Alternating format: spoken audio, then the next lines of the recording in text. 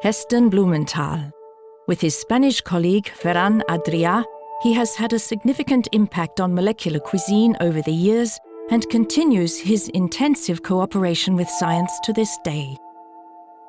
This is not only important for his new creations, but also has very practical motives. For me, science is important in cooking for several reasons, and particularly in restaurant cooking. Because if you were to cook, let's say you have three or four, five dishes that you love to cook and you think you're really good at, and you think all the people that eat it will love it, you cook those dishes. You can almost do it with your eyes closed. It's intuitive. It's got just about cooking with touch and taste. The kitchen environment is very different.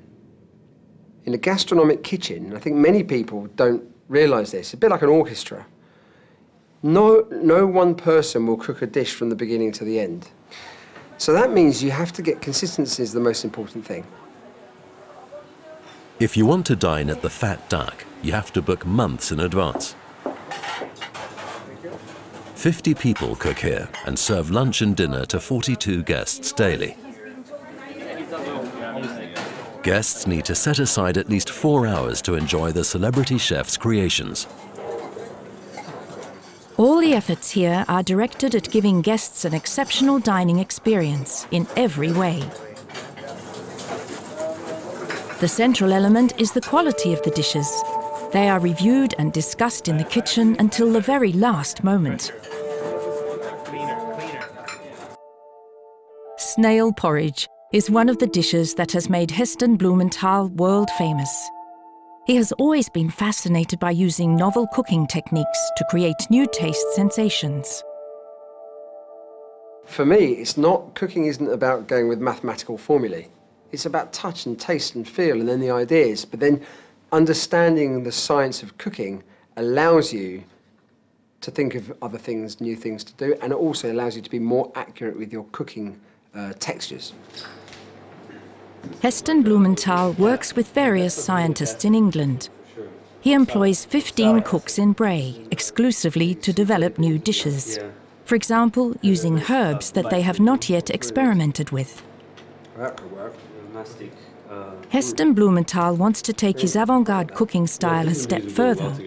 On his way to becoming a universally admired top chef, he not only learned to work very accurately with ingredients, but also to break with old cooking traditions.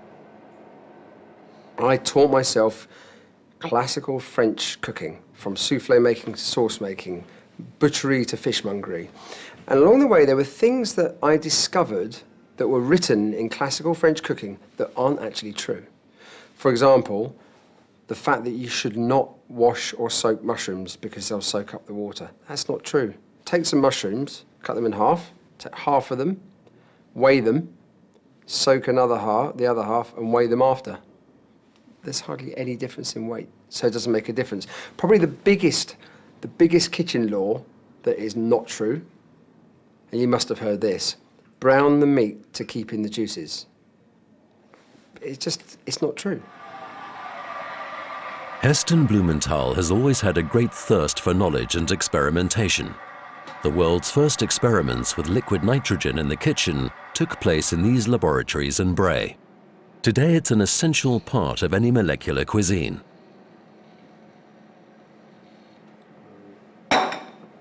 Dishes that are shock-cooled in liquid nitrogen at nearly 200 degrees below zero have become a permanent part of the menu at the Fat Duck.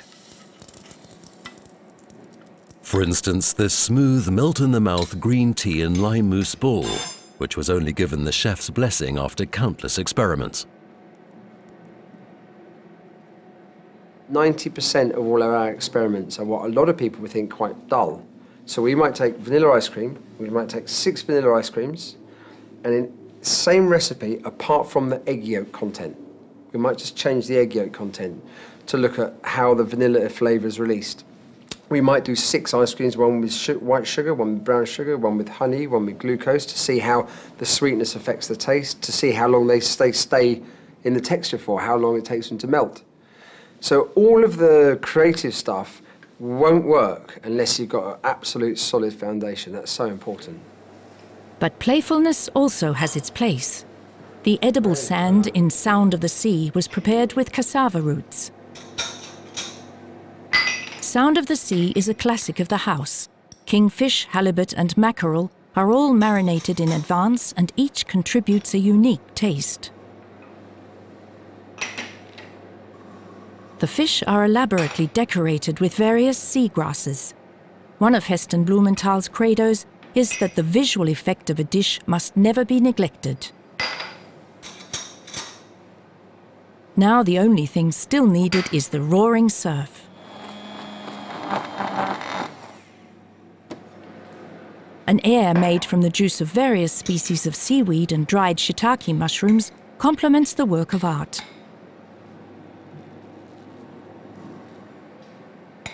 And to give the dish a really intoxicating swoosh, a specially equipped shell provides the sound effects.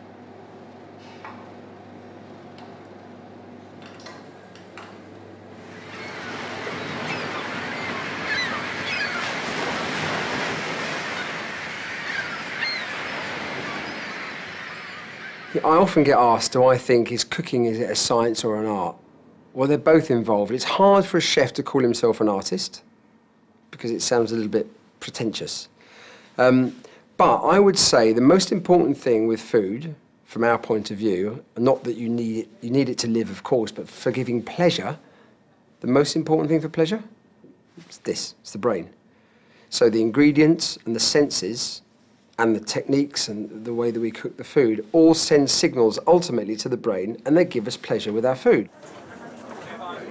The tasting menu in the Fat Duck has 15 courses. Only the very best from the restaurant's own laboratory kitchens makes it onto the menu. The Fat Duck is still the heart of Heston Blumenthal's company, which now employs almost 300 people in his four different restaurants and experimental kitchens.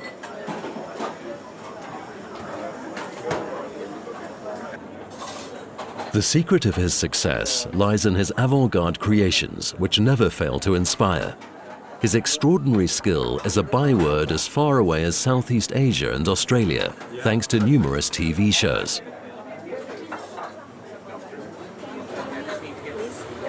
Anyone who has ever dined in the Fat Duck won't easily forget the sensory experience they were given. For example, Blumenthal's variation of the Black Forest Gâteau, a six-layer cake accompanied by a cherry aroma sprayed in front of the guests' noses as an additional stimulator. In a funny way, you know, we think about, oh, chefs are creative, scientists are not creative people. Some of the most creative people I've met are scientists. Just because they got a white coat on and a clipboard, they, they, they still have lots of ideas. And cooking for me, works very similar to the science that I've experienced, is that chefs can learn a lot from scientists, but scientists can learn an awful lot from chefs. Mutual inspiration is extremely important for this pioneer of molecular gastronomy. It forms the basis for the culinary art of the 21st century.